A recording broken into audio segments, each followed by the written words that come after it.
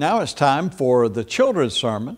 And if you've got kids or youth nearby who aren't already watching this video, now's a great time to call them over. I've got something special to share with them today. Hey guys, I'm Pastor David, one of your associate pastors, and I get to share with you the children's sermon today. And um, I'm actually going to share with you a book that I'll talk about in just a moment.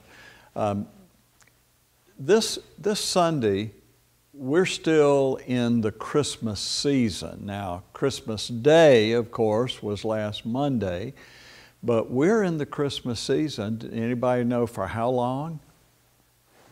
That's right, 12 days. We even sing a song about that, the 12 days of Christmas.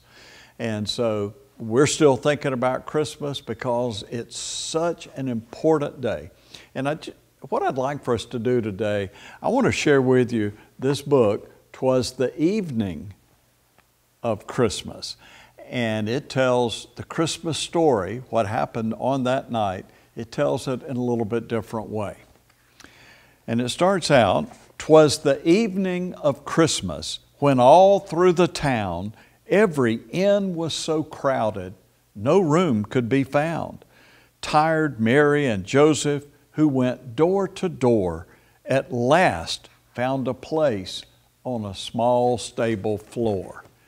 And here you can see the picture of Mary and Joseph.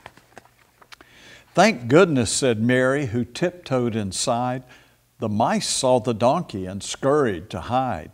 The rest of the creatures all cuddled up tight in hopes that they might have a calm, peaceful night.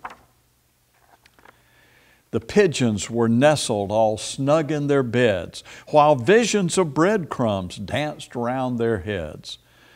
The cows closed their eyes and the oxen laid down.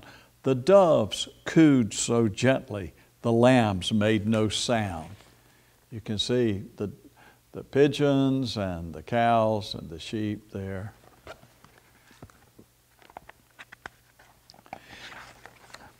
The moon through the trees was just starting to glow with a glimmer of light on the stable below, when quite by surprise came a newborn babe's cry that woke all the animals sleeping nearby. Up jumped the cows and the oxen and sheep. Up popped the pigeons, aroused from their sleep. They all came to gaze at the small baby boy as his mama and papa hugged him with joy.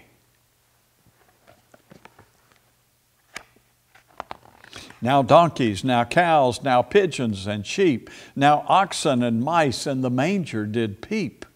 His eyes, how they twinkled, his dimples so sweet, as they nuzzled his fingers and cute little feet. And out in the fields, taking care of their sheep, some shepherds were just getting ready to sleep when all of a sudden they had such a fright as a whole choir of angels lit up the night. Here you can see the shepherds and the angels up in the sky. But the song of the angels, the words that they said, soon let the men know they had nothing to dread. Dear shepherds, it's wonderful news that we bring. A Savior is born. He is Jesus the King. They ran to the stable and peeked through the door and saw something never imagined before. There in a manger, a baby boy lay, no blankets, no pillow, his bed made of hay. And to that small stable came three splendid kings with gifts for their baby, all beautiful things.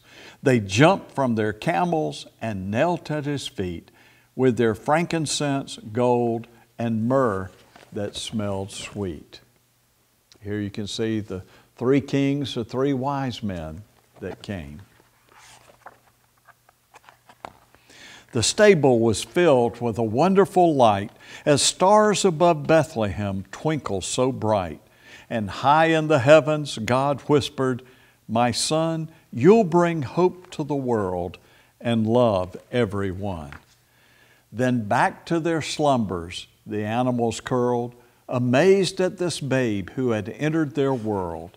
As Mary and Joseph got ready for bed, they snuggled their baby and kissed his sweet head. As Mary laid Jesus asleep in the hay, she thought about all that had happened that day. The mice heard her whisper as she tucked him in tight. Merry Christmas, my son, and to all a good night. So, yeah, we celebrate Christmas for 12 days. So, we're still thinking about Christmas, even though maybe some of the decorations are gone and the presents have all been opened and some of the toys have already been broken.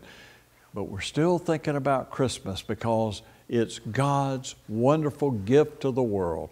God so loved the world that He gave His only begotten Son.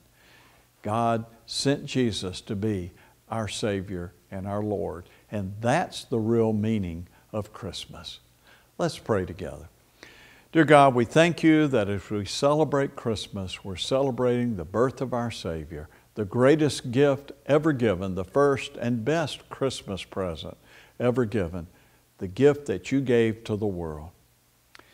We thank you also, Lord, for all of the children and youth of our church and community and their parents and families. We pray your blessings on them. In Jesus' name, amen.